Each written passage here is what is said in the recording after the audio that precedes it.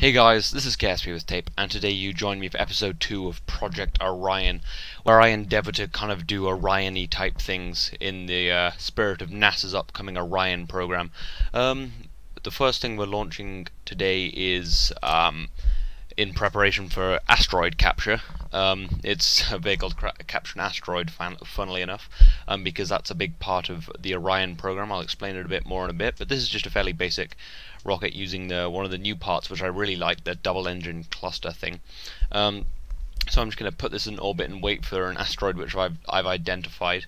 I want to get a not a really big one because it's just really inconvenient um, and kind of annoying, but not like a tiny one that are just like little pebbles. Um, I'm thinking I'm going to go for a Class B because it's not tiny, it's registered small, and I think I've captured one of them before, and it was quite a it was decent size, and I think more like the kind of size NASA are planning to capture in terms of asteroids, which um, they're going to be doing, as I'll explain a bit more in a second.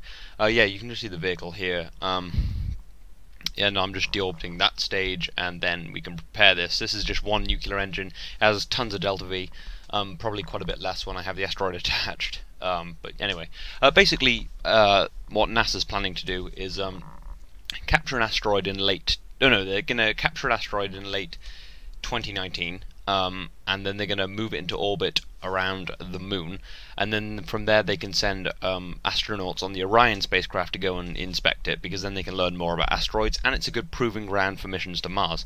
Uh, that's one of the big things they're going for. Um, they're going to be redirecting it with solar electric propulsion, because that's the most logical thing, it's the most efficient sort of thing we have that's actually used, which provides very little thrust. Like, uh, the most powerful one ever gave about 2.5 newtons of thrust. Uh, if you don't know, solar electric propulsion is an ion drive, um, and that's way overpowered in Kerbal Space Program. But anyway, I'm just picking out my asteroids. I've actually already picked it out, but I completely forgot what it was, so I'm trying to kind of click through this and figure out which one's which. Um, but I think it's this one. Um, it doesn't tell me the information about it unless I view it in the tracking station. Um, I'm not entirely sure. I'll view this one in the tracking station, and then I'll see if this is the, the right asteroid. Um, I think uh, oh yes, signal strength B. That's the only one I could find that was signal strength B, which is a small asteroid, but not too small. Um, anyway, I'll go back to my ARM spacecraft, or the Asteroid Redirect mission. Um, that's what that's about. Yeah, uh, so mine's using a nuclear engine instead of ion drives, because ion drives would be painful, even with the unrealistic amount of um, thrust they provide in this game. It still would be rather horrible. Um, this is going to pass through the Kerbin system like that. That's going to be actually quite nice to rendezvous with. Um, when NASA capture theirs, it's going to be quite uh, quite different. Uh, they're going to go out and find one and bring it back, rather than kind of let it close encounter Earth, because that gives you less kind of time margins. And when you've got solar electric propulsion, which is you know providing about 10 newtons of thrust, you want a lot of time. Anyway, so I will just um, set an alarm uh, because then I'm just going to give it the name and then you know, give it an alarm so that I know when it's going to encounter, so I can prepare for that. Um, I'll just put myself in the similar orbit, capture it, and then bring it into orbit. Around the moon is where I'm going to put it, hopefully. I might have to send another spacecraft to move it, but I'm hoping not. It's actually, thinking about it, not in a brilliant position. Oh, and I screwed up that alarm. I forgot to put when it, you know, when it needed to be open, so I just set an alarm for 10 minutes, which kind of didn't help. Um, yeah, but anyway, I, it it's actually probably would be better to have it in a much higher orbit um, when the asteroid comes in because then it's moving slower and it might just be more convenient, more less delta V and such. But I'm not sure, and I've forgotten if uh, if it's above or below the moon's orbit. But I think it's fairly close to it, so that could be fine. I have enough delta V on this. Um, but yeah, there you go, asteroid in 44 days. But I have a Duna window. Uh, I have a Duna window coming up before then, so I want to send a rover, and this is my idea. It's a kind of uh, fairly simple, kind of a simple core. Um, the wheels are just powered by RTGs. I've screwed up the uh, probe on this, it's pointing the wrong way, so it's powered backwards. Um, but it's got a little bit of metal on top of it, because I think a lot of people, when they build their rovers, kind of don't think about durability, and I tend not to. And I quite like putting lots of crap on it, so I put this on, and the metal above, or like the science packages, does actually help quite a lot. It does shield it, as you'll see in a bit. Um, the science packages are just aesthetic, but I thought I might as well protect them anyway, because I do tend to flip my rovers, and this is quite flippable. as you see. I think it's probably because I'm driving it in not docking mode. And it rolls, but luckily the metal on top protects the science and the probe core. So that's useful, but now it's pretty much dead in the water, so there's no point protecting it, but still it's a nice it's a nice thought. Anyway, I quickly fixed the probe so that it's um so that it doesn't invert the driving, because that's kind of annoying. And I think I'm just going to go for a little drive around the space center, well, the science center, because there's the R&D place is a really nice place to drive around. There's loads of uh, like roads and stuff to look at and stairs and stuff. Yeah, oh, I'm really looking forward to the uh, upcoming 2.24 update. I haven't obviously.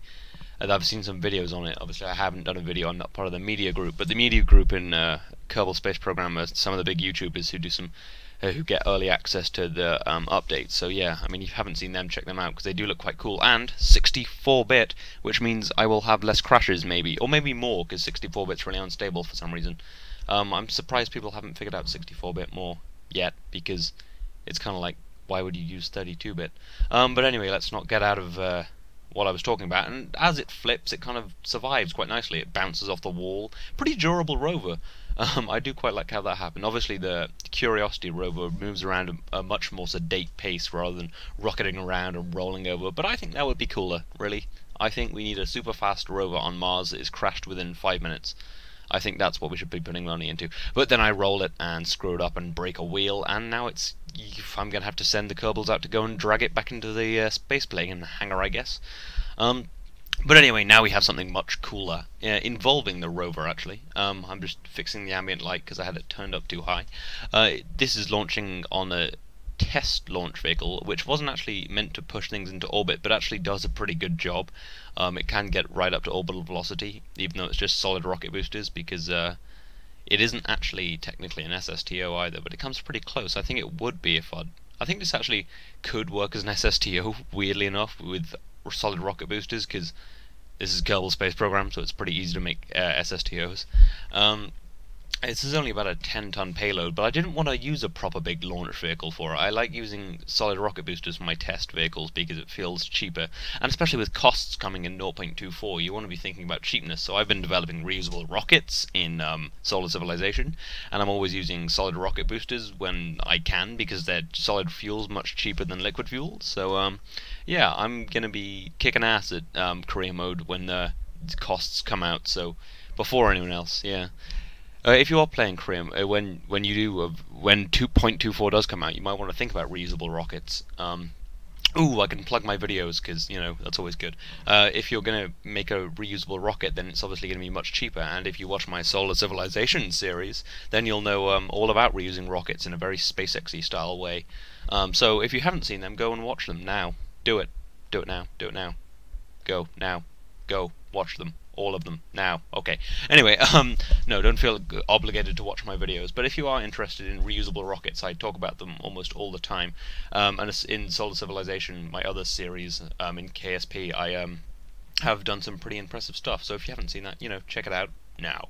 Anyway, I'll stop being weird and trying to force people towards my other videos, and I'll talk about what's going on on the screen.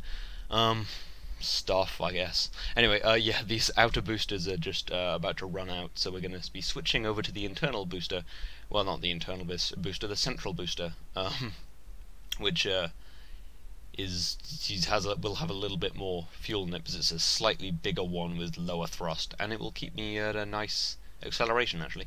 Um, I have put control fins. I've started putting control fins on my rockets now. I never used to, but I quite like them because in atmosphere, especially with Ferram Aerospace. It's really nice to control because it is kind of difficult getting turns right in Ferram Aerospace because if you move too far, your rocket tears apart, which will uh, be fun when it costs stuff. And oh, another thing about 2.24 is you can turn quick saves and quick loading off. So I'm thinking of doing a hardcore series where I have no quick saves, no quick loads, no revert to launch, no revert to. If I break something, it breaks and I think that would be really cool. And I'd just have to, and with costs, that would be really difficult.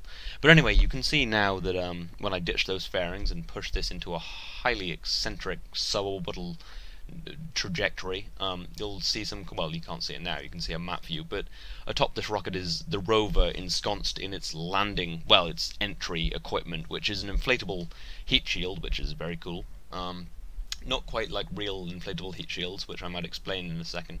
Um, and on top of it is this kind of casing of metal, because I like doing big casings and going way over the top with aesthetics, because I'm me. Um, and then it's got some drogue chutes, uh, and actually some landing stuff. It lands in a very similar way to Curiosity.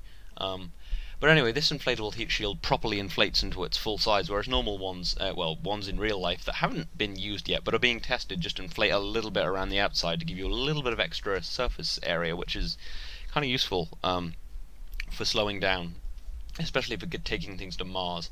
Uh, because it's, you know, very thin atmosphere, like 1% of actual atmosphere. But anyway, I better inflate this heat shield before we hit the atmosphere. It looks very small, but it will fit within a nice uh, fairing, and when I open it up, it gets rather, um, well, rather larger than it was before, and it'll cover up the whole rocket, and, uh, not the whole rocket, the whole rover, and it'll, um, and it also provides loads of drag, which makes slowing down really easy, which will be very important when I get to Duna. Um, this slows down a ridiculous amount on Kerbin, because, you know, thick atmosphere, but when it gets to Duna, it will be slowing down much less, and those, um, landing rockets will be very important. It's kind of um, designed in the sky craney type way, except I don't have a crane. Um, I might put a Kerbal Attachment System grapple hook type, type thing on so that I can actually properly crane it onto the surface, but for now it's just kind of a drop crane thing. And I have got MechJeb on this with the Translatron because um, I don't know if you've ever tried to kind of hover with parachutes, it's pretty much impossible. But anyway, you didn't even see the burning there because this heat shield is so effective at slowing down. And um, the drogue chutes have gone, uh, three of them, far too much for landing on Kerbin, but I thought I might as well test the entire vessel.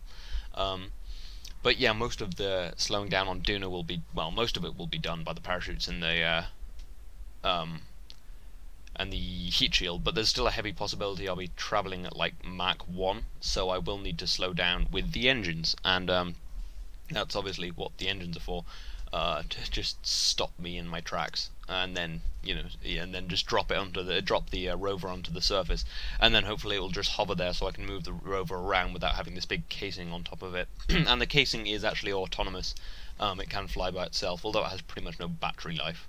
Um, so that's that's something to take into consideration. Uh, but anyway, we're getting down pretty low now, below five kilometers. At two and a half kilometers, these uh, drogues will deploy fully and slow us down to a ridiculous amount. Uh, we're already only falling at 50 meters a second because of that huge heat shield. Um, yeah, that and the the other thing about the heat shield is it's really light. It's like lighter than normal heat shields because it's inflatable. And as I drop it, you can see it kind of just falling really sedately. When it touches the ground, as you'll see in a minute, minute it doesn't even break. It just kind of touches down because it's like falling on parachutes. Um, but yeah, you can see this kind of casing and engines around the outside. You can just about see the rover there. Um, I think, yeah, yeah, I'm getting a pretty good quality. I'm not sure if um, YouTube will uh, compress it down too much, but I do turn the ambient light up in a bit, so uh, you'll be able to see that and everything will be fine, because I know it's really crap to watch darkened KSP videos on YouTube, um, because YouTube darkens them and stuff. Uh, but yeah, it should be fine. There you go, I just turned it up. Um, this is post commentary, so I'm trying to you know remember everything that went on. But anyway, I uh, cut the chutes and ignite the engines because I don't want to be using chutes and engines. That always gets really really annoying. So I will descend at 20 meters a second until I deem um, fit to slow down to 10 meters a second and then 1 meter a second and then 0 meters a second because we don't want to be falling too fast.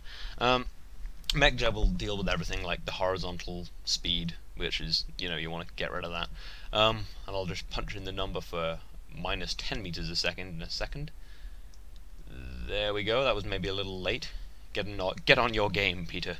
Um, but yeah, it's quite a nice way of slowing down. It's quite controlled. Um, I mean, it does look pretty swayy right now, I understand that. Oh, look, there's the heat shield. Just fine.